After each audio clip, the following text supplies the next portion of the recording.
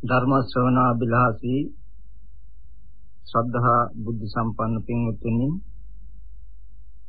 මේ පින්වත් සියලු දෙනා දැන් මේ සූදානම් වෙන්නේ සසර දුක්ගිනි නිවීම පිණිස ලෞතර බුදුරජාණන් වහන්සේ විසින් දේශනා කරන ලද ශ්‍රී සද්ධර්මයෙන් බිඳක් ශ්‍රවණය කරන්නටයි.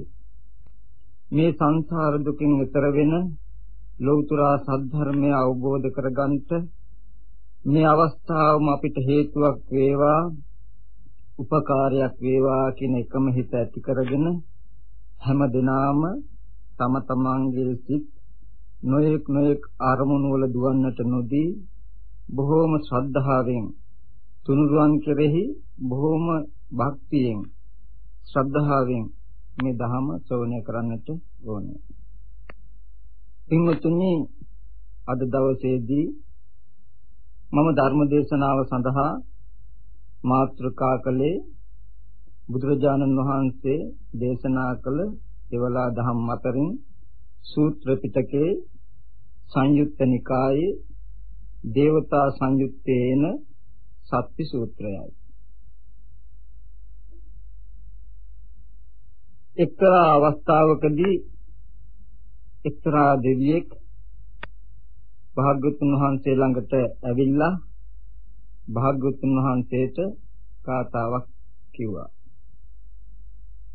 මේ අවස්ථාවේදී ඒකට ප්‍රතිඋත්තර වශයෙන් භාග්‍යවතුන් වහන්සේ වදාලා සත්‍යාවිය ඕමට්ටෝ දහයමානෝව මත්තකේ සක්කාය දිට්ඨි පහනාය සතෝ බික්ඛු පරිබජේ කියලා.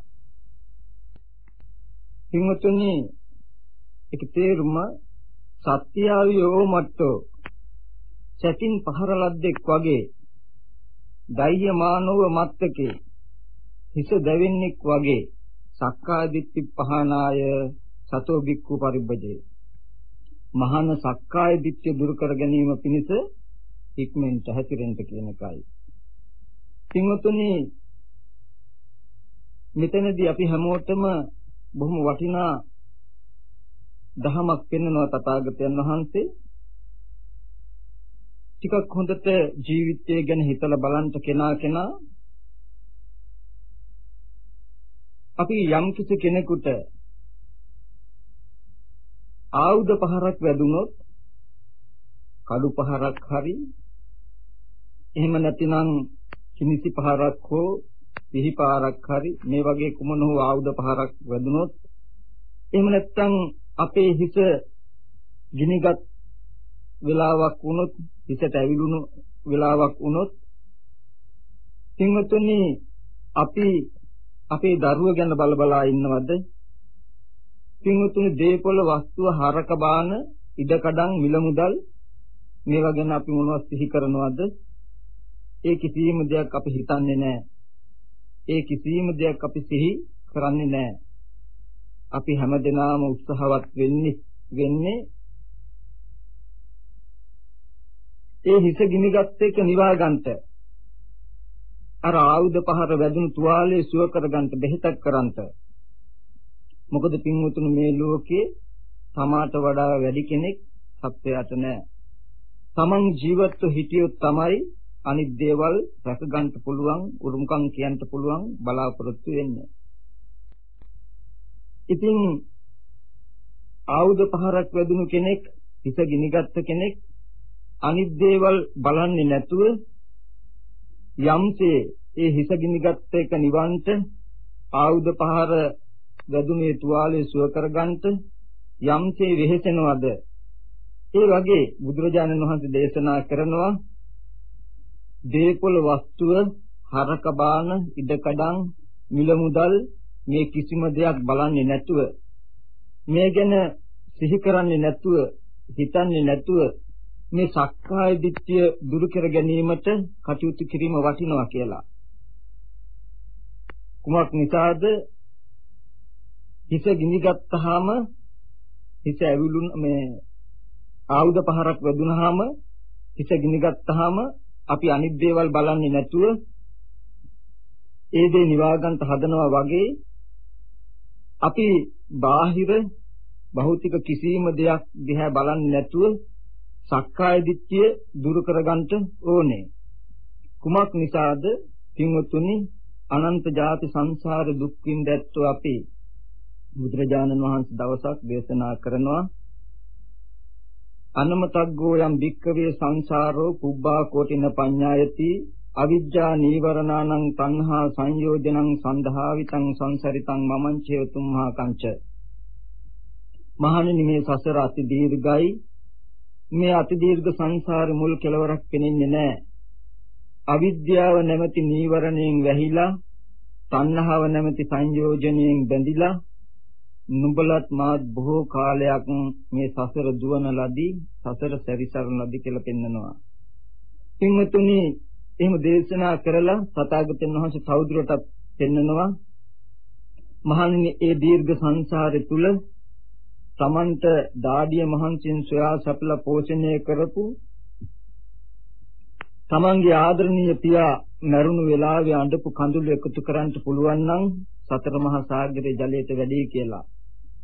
ඒ වගේම තමන්ගේ ආදරණීය මෑණියන් මරුණු වෙලාවේ අඬපු කඳුළු එකතු කරන්න පුළුවන් නම් සතර මහා සාගරයේ ජලයට වැඩි කියලා. ඒ වගේම තමන්ගේ දුව මරුණු වෙලාවේ පුතා මරුණු වෙලාවේ අනිත් සහෝදර සහෝදරියෝ ඥාති හිතයිසින් මරුණු වෙලාවේ අඬපු කඳුළු එකතු කරන්න පුළුවන් නම් සතර මහා සාගරයේ ජලයට වැඩි කියලා පෙන්නනවා. ඒ විතරක් නෙමෙයි පින්වත්තුනි තථාගතයන් වහන්සේ දේශනා කරනවා මේ දීර්ඝ සංසාර ගමන එනකොට කුකුල්ලු වෙලා එළුව වෙලා ඌර වෙලා හරක් වෙලා ඉපදුණු වාරවල බෙලි කැපුම් කනකොට ශරීරයෙන් ගලාගෙන ගිය රුධිරය එකතු කරන්ට පුළුවන් නම් සතර මහා සාගරයේ ජලයට වැඩි කියලා පෙන්වනවා.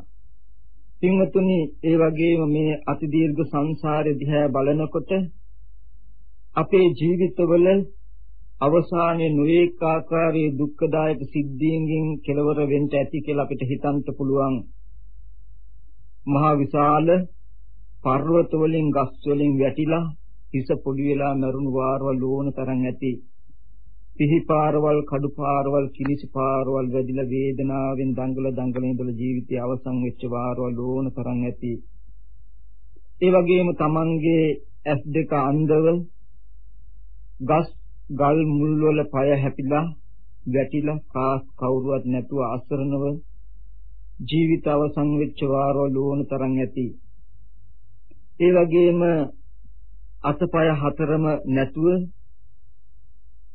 අසරණව ජීවිතයේ අවසන් වෙච්ච වාරවල් ඕන තරම් ඇති. ඒ වගේම රජුන්ගෙන්, සොරුන්ගෙන්, සතුරන්ගෙන් පහරවල් කාලා දුක් විඳලා මරුණු වාරවල් ඕන තරම් ඇති. ඒ වගේම ශරීරයේ හොරි කුෂ්ඨ වගේ ලෙඩ රෝග හැදිලා ජීවත් වෙන්දිම පණුව ගහලා මේ වගේ ලෙඩ රෝග හැදිලා ජීවිතය අවසන් වෙච්ච වාරවල් ඕන තරම් ඇති. ඒ වගේම ලෙඩ රෝග හැදිලා නැගිට ගන්නට බැරුව තමන්ගේම මල මුත්‍ර ගොඩේ වැටලා ජීවිතය අවසන් වෙච්ච වාරවල් ඕන තරම් ඇති.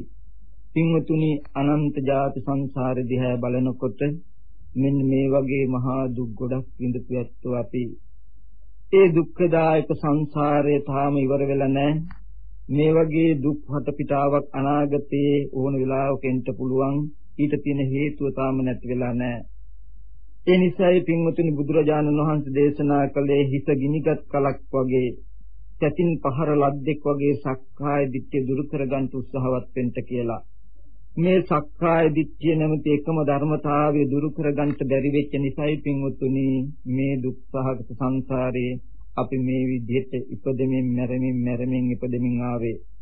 එහෙනම් අද දවසේදී හෝ අපි මේ ලෝතර බුදුරජාණන් වහන්සේ මේ දුක නැති කිරීම පිණිස පෙන්වපු මේ උතුම් සත්‍ය අවබෝධ කරගන්නට ඕනේ. කොහොම හරි මේ සක්කාය දිට්ඨිය නැමැති එකම ධර්මතාවය දුරු කරගත්තොත් පින්වතුනි අවශේෂ ධර්මයන් පැත්තකින් තැබේවා. භවය හත්වතාවකට වඩා අපි ඉපදෙන්නේ නැහැ. මේ තැනට හොෙන්නට වීර්ය කළ යුතුයි. ඒ සඳහා අද දවසේදී අපි මේ දේශනාව පොඩ්ඩක් නුවණින් සම්මර්ෂණය කරලා බලමු. එතනදී තථාගතයන් වහන්සේ දේශනා කළ සක්කාය දිට්ඨිය දුරු කර ගැනීම පිණිස සිහිය ඇතුව හැසිරෙන්න කියලා. පින්වතුනි සක්කාය දිට්ඨිය කියලා කියන්නේ මොකක්ද? සක්කාය කියලා කියනවා මේ පංච උපාදානස්කන්ධයට නමක්. සක්කාය කියලා කියන්නේ පංච උපාදානස්කන්ධයට නමක්. පංච උපාදානස්කන්ධය කියලා කියන්නේ රූප උපාදානස්කන්ධය, වේදනා උපාදානස්කන්ධය, සංඥා උපාදානස්කන්ධය, සංඛාර උපාදානස්කන්ධය, විඥාන උපාදානස්කන්ධය. රූප උපාදානය කියන්නේ කුමක්ද? සිංහතුනි රූපය කියනකොට මෙතන ස්කන්ධ කියන්නේ සමූහාර්ථයෙන් ගොඩක් රාශියක් කියන අර්ථයෙන්. අපි දැඩිව අරගෙන තියෙන රූප ගොඩ මොකක්ද? රූපස්කන්ධය.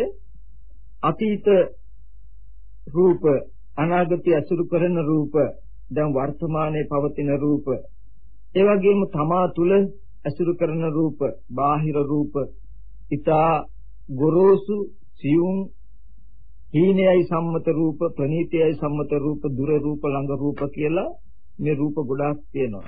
ඒක අපි සමස්තයක් වශයෙන් කෙටි කළා කැටි කළා ගත්තොත් අපිට ඇස රූපයට අයිති ඇසට ගෝචර බාහිර රූපයත් රූපයට අයිති කනත් ශබ්දයත් නාසයත් ගන්ධයත් දිවත් රසත් කයත් කයට ගැටෙන දේ කියන මෙන්න මේ කාරණා 10 රූපස්කන්ධයයි කියලා වර්තමාන තුලින් අපිට ගන්නට පුළුවන්.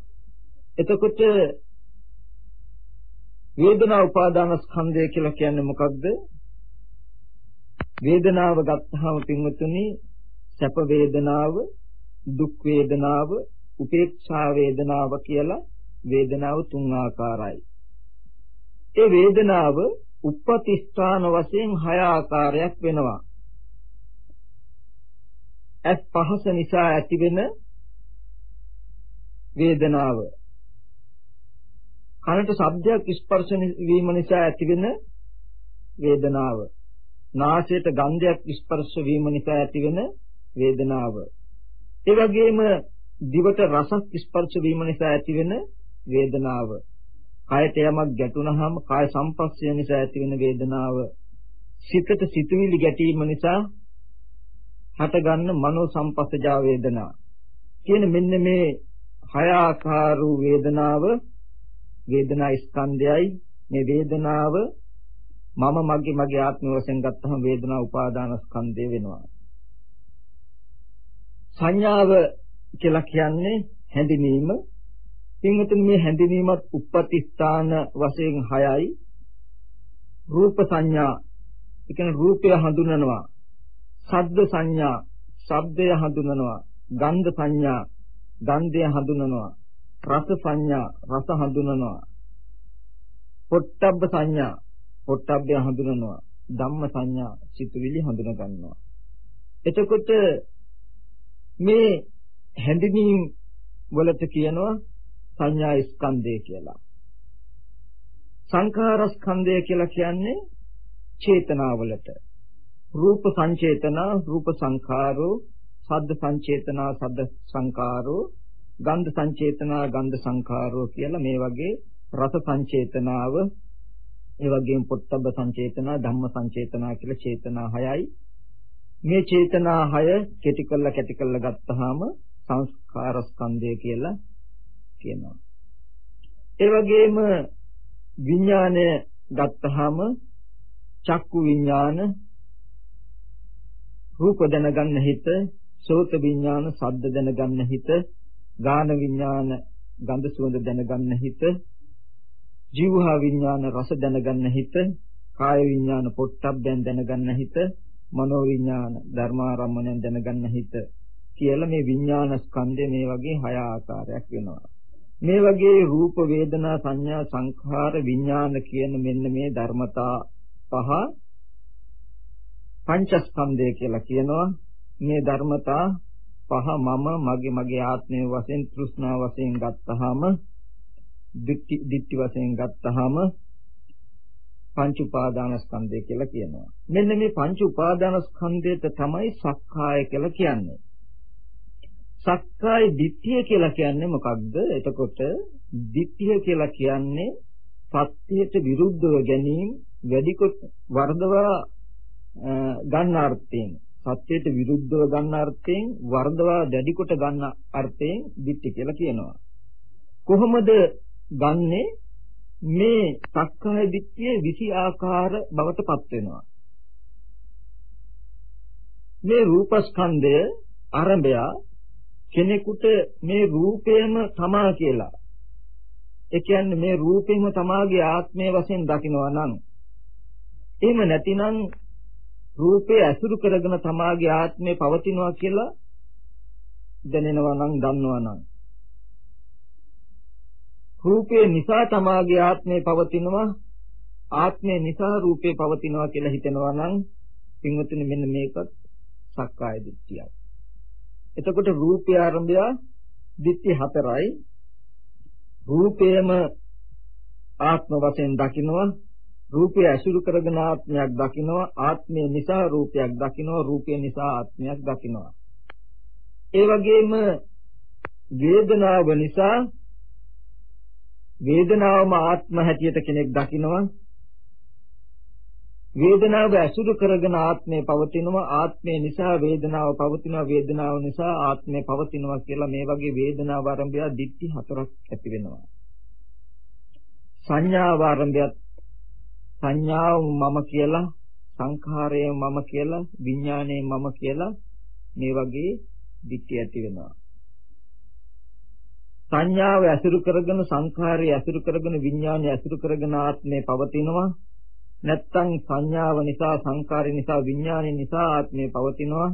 නැතිනම් සංඥා සංකාර විඥාන නිසා ආත්මය ඇති මේ ඇති වෙනවා පවතිනවා කියලා මේ වගේ එක ස්කන්ධයකට රූපස්කන්ධයට දිට්ඨි හතරයි වේදනා ස්කන්ධයට දිට්ඨි හතරයි මේ වගේ මේ ස්කන්ධ පස ආරම්භය හතර ආකාරයෙන් මේ දිට්ඨි 20 ආකාර වෙනවා. පින්වතුනි මේ 20 ආකාර සක්කාය දිට්ඨියේදී රූපේම මම වේදනා රූපේම මගේ ආත්මය වේදනාවම මගේ ආත්මය සංඥාවම මගේ ආත්මය සංඛාරයෙන් මගේ ආත්මය කියලා දකින්න තැන තියෙනවා උච්ඡේද දෘෂ්ටිය. මෙතන ඇසුරු වෙලා තියෙන උච්ඡේද දෘෂ්ටිය. කුමක් නිසාද? රූපේම තමා වශයෙන් දකින්න කෙනා කල්පනා කරනවා එයාගේ දෘෂ්ටිය ගොනු වෙලා තියෙනවා.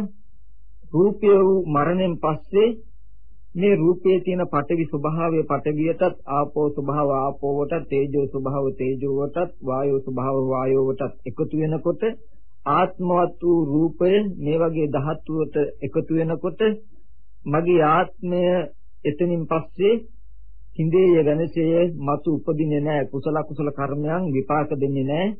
ඒ රූපය රූපවත් වූ මගේ ආත්මේ මරණයෙන් පස්සේ නැති වෙලා යනවා කියලා දකිනවා නමුත් ඊගාවට රූපය ඇසුරු කරගෙන ආත්මය හෝ ආත්මය ඇසුරු කරගෙන රූපය හෝ ආත්මය නිසා රූපය හෝ යම් කෙනෙක් දකිනවා නම් එතන තියෙනවා පින්වතුනි සාස්වත දෘෂ්ටිය.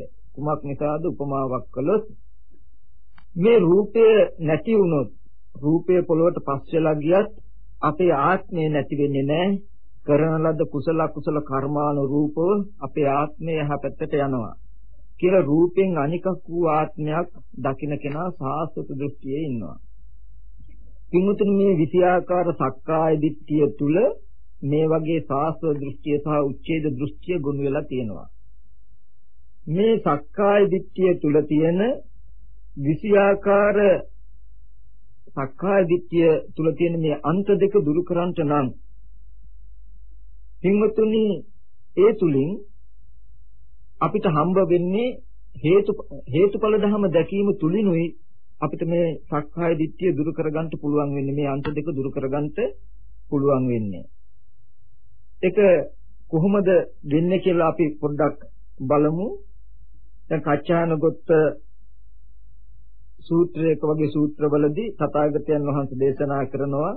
යේ බුයේන කෝ කච්චායන ලෝකෝ අතිතංචේව නතිතංච කච්චායන බොහෝසෙන් මේ ලෝකයා ඇත්ත සහ නැත කියන අන්ත දෙක ඇසුරු කරනවා ලෝක සමුදයං කෝ කච්චායන යතහ භූතං සම්මප්පඤ්ඤාය පස්සතෝ යා ලෝකේ නත්ති සාන හොಂತಿ කච්චායන ලෝකයාගේ හට ගැනීම යමෙක් ඇත්ත ඇති හැටි දැක්කොත් නෑ කියන්නේ.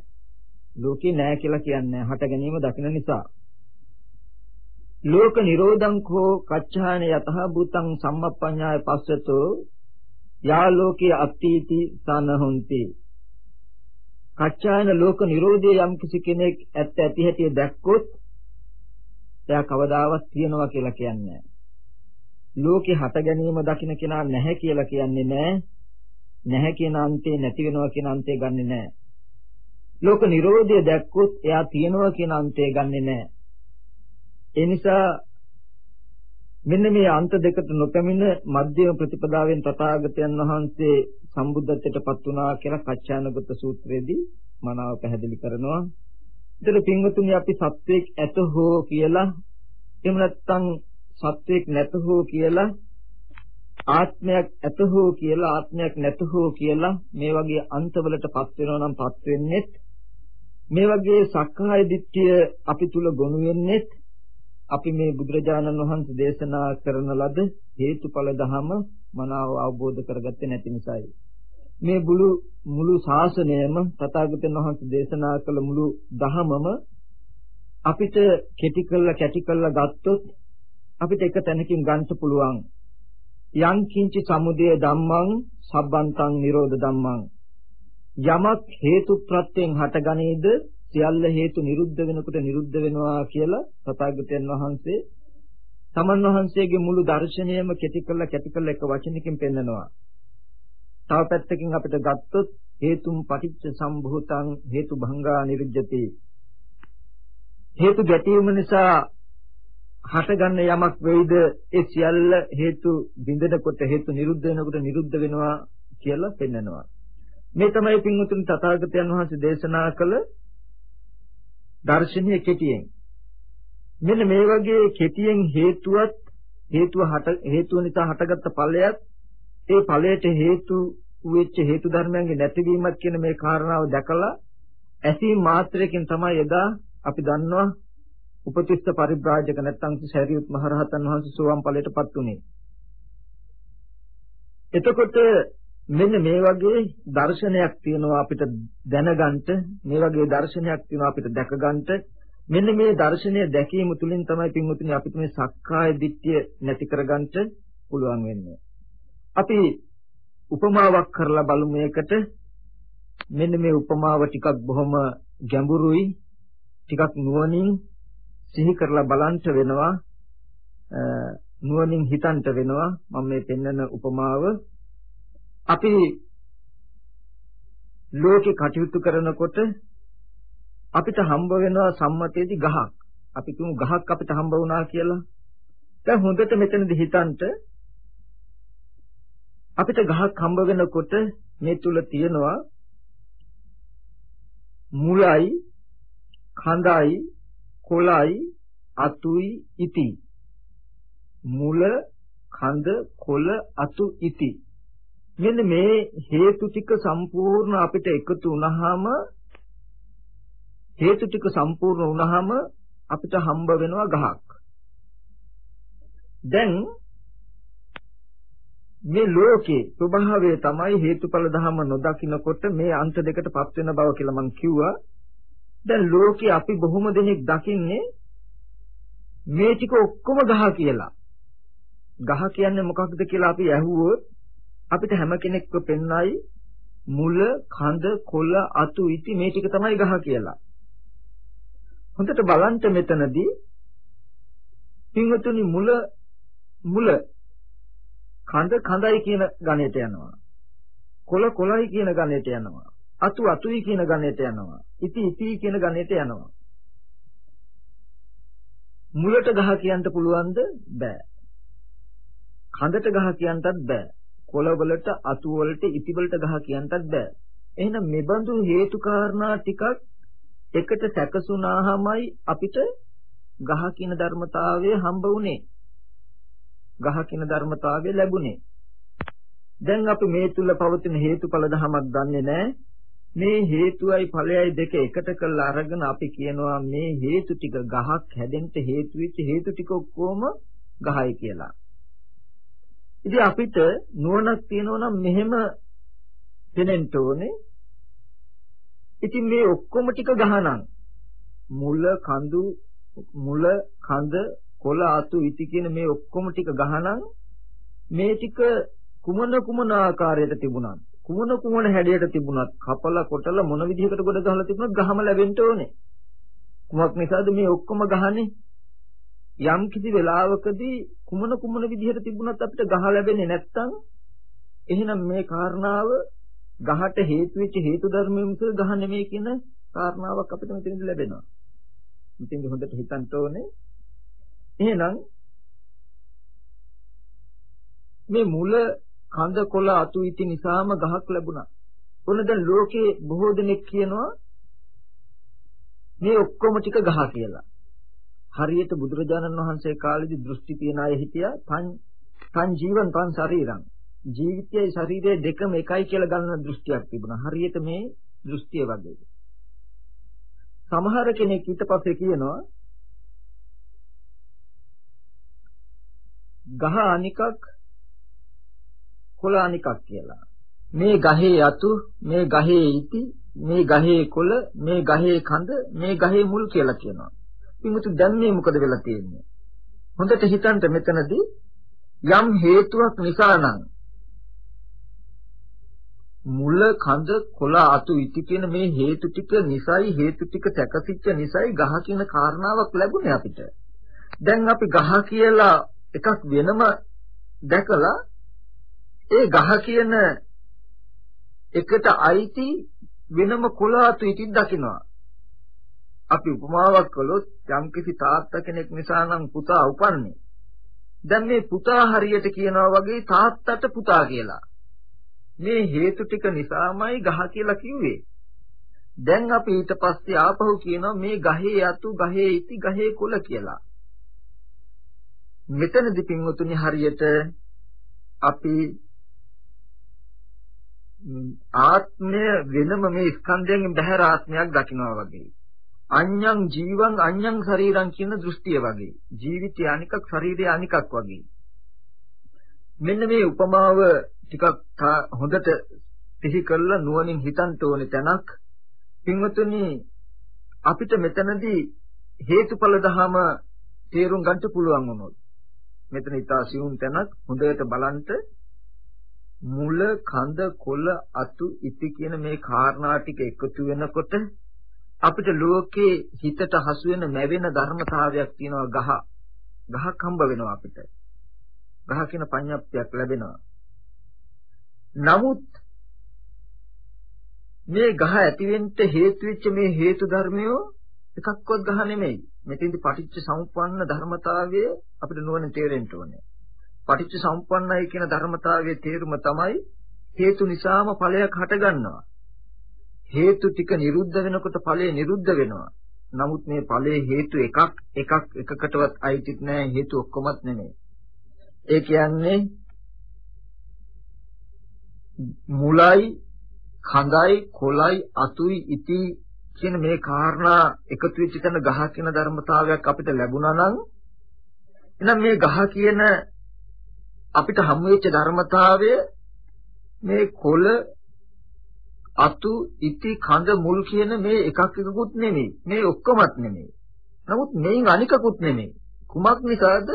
මේ හේතු ටික නිසයි හම්බ වෙන්නේ. මේ හේතු ටික මෙසේ නොයදුනේ නම් මේ හේතු ටික නොලැබුණා නම් ගහකින ධර්මතාවයක් ලැබෙන්නේ නැහැ නමුත් මේ හේතු ටික සැකසිච්ච පමණකින් ගහයේත් නෙවෙයි.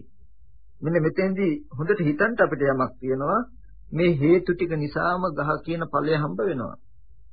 මේ හේතු ටික නිරුද්ධ වෙනකොට ගහ නැමැති ඵලය නිරුද්ධ වෙනවා එතකොට උවත් මේ ගහ නැමැති ඵලය කියන්නේ මේ හේතු එකක්වත් නෙවෙයි මෙන්න මේ වගේ මේ හේතුඵල ධම දැක්කොත් අපි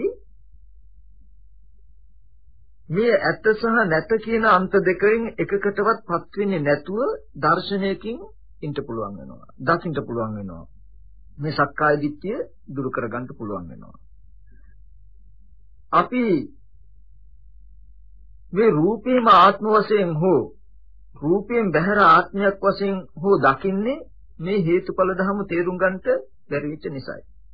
මම අර මේ ගහ උපමාවෙන් පෙන්වුවේ හේතුඵල ධම තේරුම් ගන්නට බැරි වුණොත් අපි මේ හේතුවයි ඵලයයි දෙක එකක් කොට හෝ එහෙම නැත්නම් හේතුව අනිකක් කොට ඵලය අනිකක් කොට හෝ දකිනවා මෙන්න මේ තුල මේ වගේ දැක්ම තුල තමයි මේ සක්කාය දිට්ඨිය ගොනු වෙන්නේ කියලා. පින්වතුනි මම මේ උපමාව උපමෙය්‍ය බවට පත් කරලා තමා තුළින් පෙන්වන්නම්. සක්කාය දිට්ඨිය මේ දර්ශනය නොදැකීමෙන් අපි තුල ඇති වෙන්නේ කොහොමද? සක්කාය දිට්ඨිය දුරු වෙන්න මේ දර්ශනය අපි තුල කෙසේ ගොඩ නැගී යුතුද කියලා.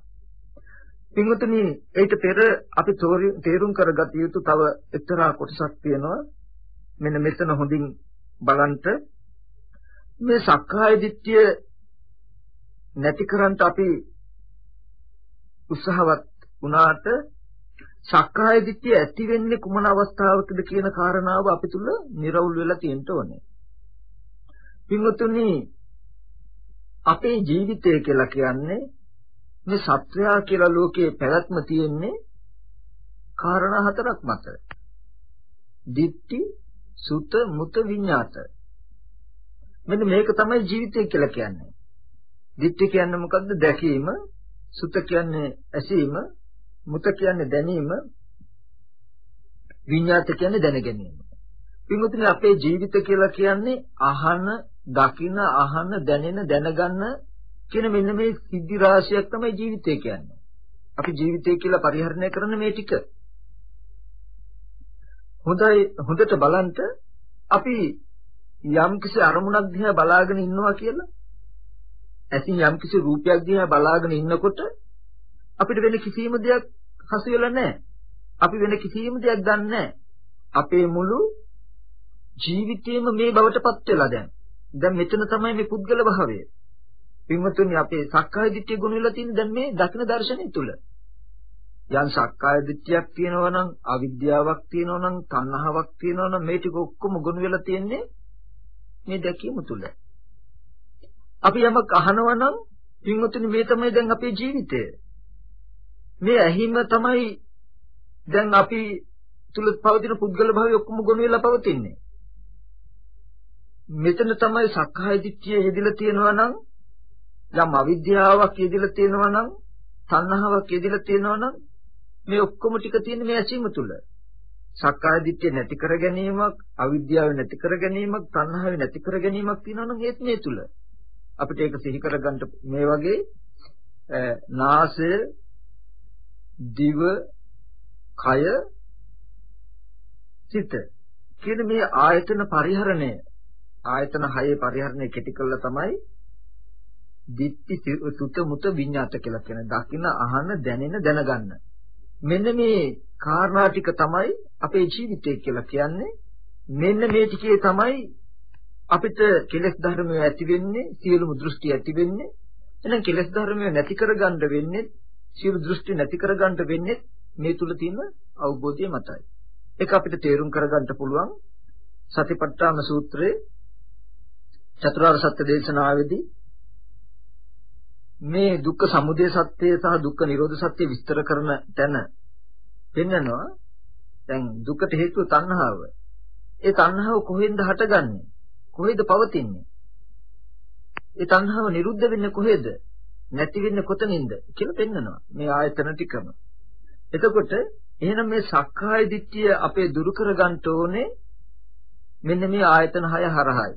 මම කෙටි කරලා කිව්වා සක්කාය දිට්ඨිය කියන තැන විෂයාකාර සක්කාය දිට්ඨිය කියන තැන තියෙනවා අන්ත දෙකක්. පස් ආකාර උච්ඡේද දෘෂ්ටියක් සහ පසළොස් ආකාර සාස්ත්‍ර දෘෂ්ටියක්. මේ උච්ඡේද සහ සාස්ත්‍ර දෘෂ්ටි දෙක දුරු කර ගැනීම සඳහා හේතුඵල ධම බලන්න ඕනේ කියලා.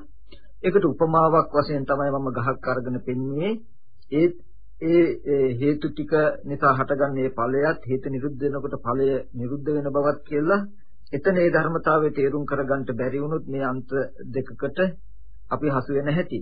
දැන් අපි අපේ ආයතන තුලින් සක්කාය දිට්ඨිය ඇති වෙන හැටි අපි පොඩ්ඩක් සිහි කරලා බලමු. එතකොට ඒ වගේම මේ සක්කාය දිට්ඨිය නැති වෙන හැටි සිහි කරලා බලමු නුවණින් පරිශීලනය කරලා බලමු. මේ දර්ශනාත්මක දර්ශනයකින් කොහොමද ඒක දුරු වෙන්නේ දුරු කරගන්නේ කියලා. හොඳට බලන්න අපි යමක් දකිනකොට යම් දැකීමක් අපිට වෙනවා නම් මෙතන තියෙන ස්කන්ධ පංචකයක්. ඇහත් රූපයක් දෙක රූපස්කන්ධය ඇසුරු කරගෙන පවතිනවා. රූපස්කන්ධයේ බවට පත් වෙනවා. ඒ දකින්න අවස්ථාවේදී චක්කු සම්පස්සජා වේදනාවක් තියෙනවා නම් ඒක වේදනා ස්කන්ධය රූප සංඥාවක් තියෙනවා නම් සංඥා ස්කන්ධය ඒ රූපය ආරම්භය යම් චේතනාවක් පවතිනනම් රූප සංචේතනාවක් වේ නම් ඒක සංස්කාර ස්කන්ධය චක්කු විඥානයක් වේ නම් ඒක විඥාන ස්කන්ධය. එහෙනම් යම් දැකීමක් වෙනකොට එතන තියෙනවා රූප වේදනා සංඥා සංඛාර විඥාන කියලා ධර්මතා පහක්. පින්වතුනි මේ රූප වේදනා සංඥා සංඛාර විඥාන කියන මේ ධර්මතා පහේදී පහෙන් අපි කාට හරි හිතෙනවා නම් දැකීම කියලා කියන්නේ මේ ස්කන්ධ පහමයි කියලා. දකින්නවා කියලා කියන්නේ මේ ස්කන්ධ පහයි කියලා. පින්වතුනි මෙන්න මෙතන තමයි අපිට රූපේම මම වේදනාව මම සංඥාව මම සංකාරය මම විඥානය මම කියලා පස් ආකාරයේ උච්චේ දෘෂ්ටිය හසු වෙන තැන. ඒ දකින්නේ දකින්නේ රූපයමයි වේදනාවමයි සංඥාවමයි සංඛාරයමයි විඥානයමයි කියලා අපි ගත්තාම අපිට මේ තුල හේතුඵල ධමයක් අවබෝධ වෙන්නේ නැහැ. හේතුව මොකද්ද ඵලය මොකද්ද කියලා ලැබෙන්නේ නැහැ. ඊට පස්සේ එහෙම නැත්තම් අපිට හිතෙනවා නම් යම් දැකීමක් වෙනකොට මේ දැකීම නැත්තම් මේ පෙනීම රූපයයි කියලා මේ පෙනීම වේදනාවයි කියලා මේ පෙනීම සංඥාවයි කියලා මේ පෙනීම සංඛාරයයි කියලා මේ පෙනීම විඥානයයි කියලා අපි හිතනවා නම් අර ඉස්සෙල්ලා මම උපමාවෙන් කිව්වා වගේ මේ ගහේ යතු මේ ගහේ ඉති මේ ගහේ කොළ කියලා මේ හේතු ටික නිසාමයි ගහ කියන කාරණාව හැදුනේ. දැන් ගහ කියන කාරණාවක් වෙනම දැකලා ඒකටයි හේතු ටික දකින්නවා වගේ මේ රූප වේදනා සංඥා සංකාර විඥාන කියන ධර්මතා පහ නිසාමයි මේ දැකීමක් වෙන්නේ. දැකීම කියන කාරණාව ලෝකේ උපන්නේ. දැකීම කියන කාරණාව හැදුනේ. නමුත් දැන් දැකීම කියන කාරණාවට හේතු වෙච්ච හේතු ටික මේ පෙන්නනවා ආපහු දැක්කේ රූපේ දැක්කේ වේදනාව දැක්කේ සංඥාව දැක්කේ සංකාරය දැක්කේ විඥානය කියලා. කෙනෙකුට හිතෙන්න පුළුවන් දකින්නවා කියන්නේ රූපේ. දකින්නවා කියන්නේ වේදනාව. දකින්නවා කියන්නේ රූප සංඥාව. දකින්නවා කියන්නේ සංකාරය. දකින්නවා කියන්නේ විඥානය.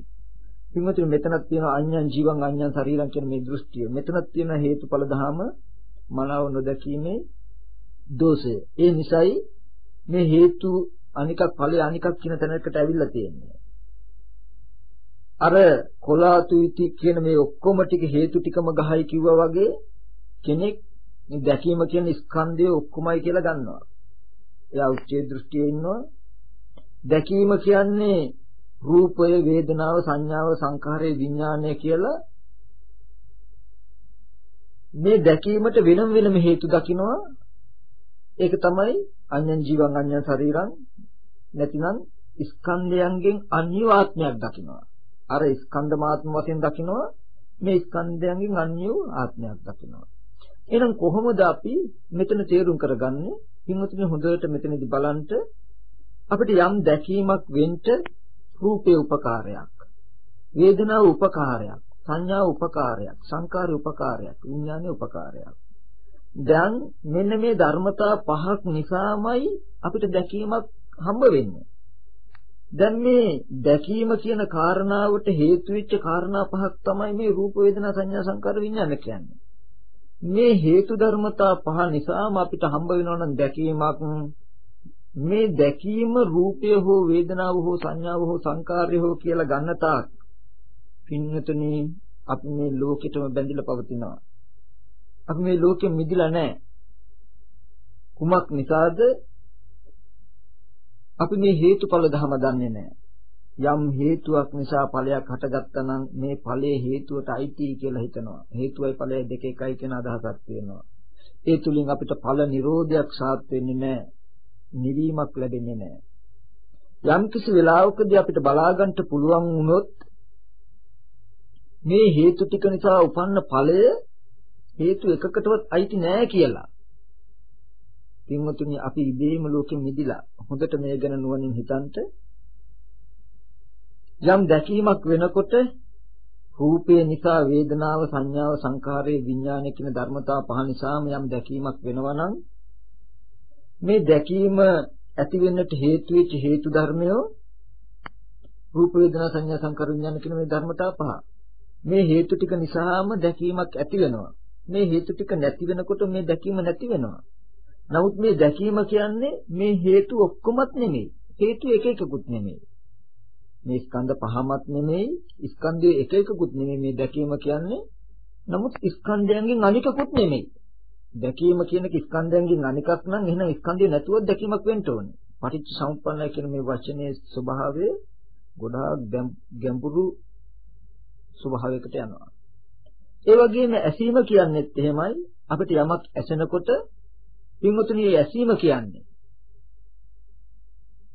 රූප වේදනා සංඥා සංකාර විඥාන කියන ධර්මතා පහ නෙමෙයි. මේ පහ නිසාමයි අපිට යම් ඇසීමක් වෙන්නේ. ඒ ඇසීමට හේතු මේ හේතු ධර්මයෝ ටික මේ ඇසීම නෙමෙයි. මේ අහන දේ මේ ඇසීම රූප වේදනා සංඥා සංකාර විඥාන කියන හේතු ටික නිසාම ඇසීමක් වෙනවා. නමුත් ඇසීම කියලා කියන්නේ මේ හේතු ටික ඔක්කොමත් නෙමෙයි හේතු එක එකකුත් නෙමෙයි හේතුන්ගෙන් අනිකකුත් නෙමෙයි මේ හේතුත් නෙමෙයි. කියලා මෙන්න මේ වගේ අපිට පුළුවන් නම් දකින දේ අහන දේ දැනෙන දේ දැනගන්න දේ පිළිබඳ නුවණින් දකින්ට හේතුන්ගෙන් අයින් කරලා. එහෙම දැක්කොත් ඒ දකින වෙලාවටම අපි රූපයෙන් මිදිලා වේදනාවෙන් මිදිලා සංඥාවෙන් මිදිලා සංකාරයෙන් මිදිලා විඥාණයෙන් මිදිලා කුමක් නිසාද? දකින දේ රූපේ කිව්වොත් දකින දේ වේදනා සංඥා සංකාර කිව්වොත් පින්වතුනි අපි මේ නාම රූප කියන අන්ත දෙකේ ඉන්නවා. මජ්ජ සූත්‍රය වගේ අංගුත්තර නිකාය මජ්ජ සූත්‍රය වගේ සූත්‍රවලදී බොහොම ලස්සනට අපිට පෙන්නනවා රූපේ එක්කන්තයක් නාමයේ එක්කන්තයක් විඥාන මජ්ජේ. එහෙනම් අපි දකින දේ රූපෙට හෝ නාමෙට හෝ දැම්මොත් අපි තාම නැද නැහැ. ඒ මොකද එහෙම ගන්න එපා දකින්න එපා කියන්නේ. රූපේ විඥාන ටිතියක් වේදනාව සංඥාව සංඛාර විඥාන ටිතියක් දැකපු දේ රූපය හෝ නාමය හෝ කියලා ගන්න තාක් මේ හිතට එකම ආහාරයක් වෙනවා. නමුත් පින්වතුනි ඔබට පුළුවන් නම් ඔබ දක්ෂයි නම් මේ හේතු ටික නිසාම හටගත්ත මේ දැකීම හේතු එකකටවත් අයිති නෑ කියලා දැක ගන්නට ඔබට දැකීම දැකීමක් පමණක් වෙනවා. ඔබ දකින යම් අරමුණක් දකින වෙලාවෙදී හේතුන්ගෙන් මිදිලා මම අවස්ථානුකූලව තව උපමාවක් කියන්නම්. පහනක තෙල් නිසා තිරේ නිසා දැල්ල නිසා ආලෝකයක් පහළ වෙනවා නම් පින්වතුනි මේ ආලෝකය කියන්නේ තෙලුත් නෙමෙයි තිරෙත් නෙමෙයි දැල්ලත් නෙමෙයි. මේ හේතු තුන නිසාම හටගත්ත මේ ආලෝකයේ නැමැති ඵලය මේ හේතු එකක් එකකටත් අයිති නෑ. හේතු ඔක්කොටම අයිතිත් නෑ. නමුත් හේතුන්ගෙන් අනිකකුත් නෙමෙයි. හේතු ටිකක් නෙමෙයි. මේ ඵලයේ ස්වභාවය මේ ආලෝකයේ ස්වභාවය හේතු ටික නිසාමයි හටගන්නේ. හේතු ටික නැති වෙනකොට මේ ආලෝකය නැති වෙනවා. නමුත් ආලෝකය කියන්නේ මේ හේතු ටික නෙමෙයි තෙල් ටික නෙමෙයි තිරේ නෙමෙයි දැල්ල නෙමෙයි. මේව හේතු. ඒ වගේ දැකීම කියන්නේ ඇහැ රූපේ චක්කු විඥාන නිසා දැකීමක් වෙනවා නම් දැකීම කියන්නේ ඇහැවත් රූපේ චක්කු විඥානවත් නෙමෙයි. මේ නිසාම දැකීමක් වෙනවා. මේ හේතු තුන නිසාම දැකීමක් වෙනවා. හේතු තුන නිරුද්ධ වෙනකොට මේ දැකීම නිරුද්ධ වෙනවා. මේ ඇහත් රූපය චක්කුඤ්ඤාත් කියන හේතු තුන නොවුනේ නම් දැකීමක් වෙන්නේ නැහැ. නමුත් දැකීම කියන්නේ මේ හේතු තුනක් නෙමෙයි. මෙතෙන්දි මේ මම පෙන්වන කාරණාව ටිකක් ගැඹුරුයි. මේ වගේ කෙටි වෙලාවකදී විශාල දහම් කොටාසයක් පෙන්වන්න පුළුවන් කමක් නැහැ. මම මෙතනදී මෙන්න මේ වගේ පරාසයකට යන්න තියෙනවා මෙන්න මේ වගේ දැකීමක් තියෙනවා නේද කියන කාරණාව අනුමානට හෝ දැනගෙන දැනගන්නට පෙන්වන එක සලස්වන එක යුතුය නේද කියන අදහසින් මේ වගේ ගැඹුරු තැනක් පෙන්වන්නට හේතු උනේ පින්වතුනි විශේෂයෙන්ම මෙන්න මේ වගේ දර්ශනයක් දැකීම තුළින් අපිට සක්කාය දිට්ඨි නිරෝධයට එළඹෙන්න පුළුවන් ඒ සඳහා අපි ටිකක් උත්සාහවත් වෙන්නට ඕනේ, වෙහෙසෙන්නට ඕනේ, මහන්සි වෙන්නට ඕනේ. ඉතින් මෙන්න මේ වගේ ගැඹුරු දර්ශනයක් අපිට එකපාරට දකින්න බෑ. මේ වගේ ගැඹුරු දර්ශනයක් අපි දකිනවා නම් ඒ දැකීමට බොහොම හොඳ චේතෝ සමතයක් තියෙන්න ඕනේ. දැන් අනුමානට මෙන්න මේ වගේ ආයතන හය හරහා හේතුඵල ධම දැක්ක යුතුයි කියලා ඔබට දැක්මක් ආවනම් දැනගැනීමක් ආවනම් පින්වතුනි මේ දැනගත්ත දේ දැක ගන්න බැරි උනේ ඔබට පාරමිතා සම්පූර්ණ වෙලා නැති හින්දාවත් නුවණ නැති හින්දාවත් නෙමෙයි. බුදුරජාණන් වහන්සේ දේශනා කරන්නේ ගැඹුරු දර්ශනයක් දහමක් පෙන්වනකොට ඒක දකින්න බැරි වෙන්නේ බොහෝ දුරට ආවර්ණීය ධර්මයන් මනස පිරලා නිසායි. ආවර්ණීය ධර්මයන් කියලා කියන්නේ නීවරණ ධර්ම. පංච නීවරණ ධර්මයන්. එහෙනම් මේ නීවරණ ධර්ම දුරු කළොත් දුරු කරගෙන ප්‍රභාස්වර මනසක් ඇති කරගෙන මේ වගේ ගැඹුරු ධමයක් සම්මර්ෂණය කළොත් ඒ දැනගත්ත ධම දැක ගන්න පුළුවන් වෙනවා. එහෙනම් පින්වතුනි මෙන්න මේ වගේ ගැඹුරු දර්ශනයක් දැනගන්න දැක ගන්න තියෙනවා මේ වගේ තැනකට යන්න ඕනේ. මේ දර්ශනය දැක්කේ නැති අද මේ හිතේ කෙලෙස් ස්වභාවය නිසායි හිත සමාධි කරගන්න ඕනේ කියන අදහසක් ඇති කරගන්න ඕනේ. ඇති කරගෙන ඔබ හිත සමාධි කරගන්න ඕනේ සමාධිමත් වෙන විදිහ කමටහනක් යෙදෙන්න ඕනේ. පින්වත්නි හිත සමාධි කරගන්න පුළුවන් කමක් නැහැ කය වචන දෙක අසංවර කෙනාට. එහෙනම් ඉස්සෙල්ලා කරන්න ඕනේ සීලයක පිහිටලා කය වචන දෙක සංවර කරගන්න. දැන් ඔබට සීලයේ ඉඳලා දර්ශනයක් තියෙනවා මේ හේතුඵල ධහම තමන්ගේ එදිනෙදා පරිහරණය කරන මේ ආයතන ඔස්සේ යහකන දිවනාසේ ශරීරය කියන ආයතන ඔස්සේ හේතුඵල ධම අවබෝධ කරගන්න ඕනේ කියලා දකිනවා. ඒ වගේම මේ දැකීම ඇති කරගන්න නම් හිත සමාධි වෙන්න ඕනේ. හිත සමාධි කරගන්න නම් සීලයක පිළිටන්න ඕනේ. කියලා දැකලා ඔබ දැන් සීලයක පිළිටනවා. සීලයක පිළිටලා සිල්වත් පන්සිල් හෝ පොහොය අටසිල් හෝ දස සිල් හෝ ඊට වඩා වැඩි සීලයක පිහිටියාම ඔබ දන්නවා මම මේ සීලයක පිහිටියේ හිත සමාධි කර ගැනීමට උපකාර පිණිසයි කියලා. දැන් සීලයේ තුල ඔබ මත් වෙන්නේ නැහැ, රැවටෙන්නේ නැහැ, ප්‍රමාද වෙන්නේ නැහැ. මේ සීලය සමාදන් වෙලා කරන්න ඔබට යමක් තියෙනවා. දැන් ඔබ කරන්න ඕනේ හිතේ තියෙන නීවරණ ධර්ම දුරු කර ගන්න ඕනේ. නීවරණ ධර්ම කියලා කියන්නේ මොකද්ද? කාමච්ඡන්දය, මනසේ තියෙන ප්‍රභාස්වර ප්‍රභාස්වර බව නැති කරන කෙලෙසයක්. යම් වෙලාවක කාමච්ඡන්දේ මනස උපන්නද ඒ කාමච්ඡන්දය දුරු කිරීම සඳහා අසුබ නිමිත්තක් සිහි කරනවා. ඒ වගේම යම් වෙලාවක අකමැත්තක් ඇති වුණා නම් අකමැත්ත දුරු කරන්න මෛත්‍රී සිතුවිල්ලක් මෙනෙහි කරනවා. ඒ වගේම හිතේ විසිරුණු බවක් සංසිඳුණු නැති බවක් තියෙනවා නම් ඒක දුරු වීම පිණිස ආනාපාන සතිය වඩනවා. ඒ වගේම හිතේ තීන මිද්ද බවක් හිත කය දෙකේ හැකුළුණු බවක් නිදිබර ගතියක් තියෙනවා මේක දුරු වීම පිණිස වීර්ය ඇති වෙන්නට. ජාති ජරා ව්‍යාධි චුති අපාය කියලා මේ වගේ ඉපදීම ලෙඩවීම මහලු බව මරණය අපායේ විඳ දුක් අතීතයේ විඳ දුක් අනාගතයේ විඳ වෙන දුක් මේ වගේ දුක් සිහි කරලා සසරට සසරෙන් එතර වෙන්න වීර්ය ඇති වෙන විදිහට සම්මර්ෂණය කරලා ඒ තීන මිද්ද නැති කරන්න ඕනේ.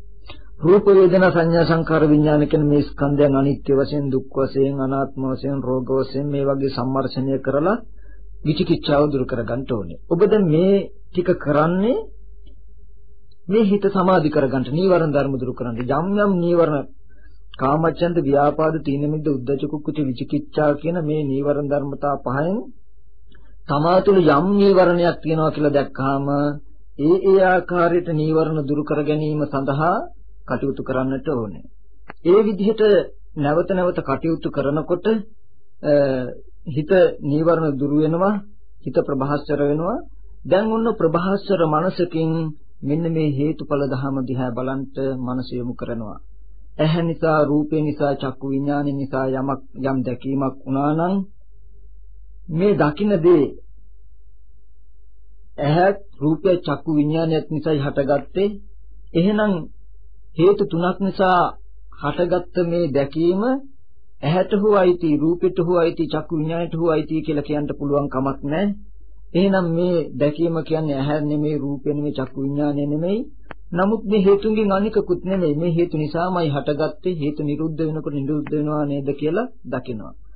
එයා දැකීමක් නැහැ කියන්නේ මොකද මේ හේතු ටික හට ගැනීම නිසා දැකීමක් ඇති වෙන නිසා දැකීම දැකීමක් නැහැ කියන්නේ. හේතු ටික නිරුද්ධ වෙනකොට නිරුද්ධ වෙන නිසා දැකපු දේ තියෙනවා කියලා කියන්නේ නැහැ. කියනවා හෝ තියෙනවා කියලා ඇති මේ කියන අන්තය ගන්න නැතුව එයා තමා තුළින් උදේවැය දකිනවා. මෙන්න මේ වගේ ඇතිවීම නැතිවීම නුවණින් දකින කෙනා දකිනකොට මෙන්න මේ සක්කාය දිට්ඨිය මේ ආශ්‍රව දුර වෙලා යනවා. පින්වතුනි හිත සීලයක පිළිපලා හිත වඩලා වැඩුණු හිතින් මේ වගේ දහමක් සම්මර්ෂණය කරන්ට මෙන්න මේ වගේ ධර්මයේ සම්මර්ෂණය කරනකොට ආශ්‍රව ධර්ම කෙමෙන් කෙමෙන් ගෙවිලා ගිහිල්ලා මේ ජීවිතයේදීම ඔබට සංසාර දුකින් එතර වෙන ලෞතර සද්ධර්මය අවබෝධ කරගන්න පුළුවන් වෙනවා.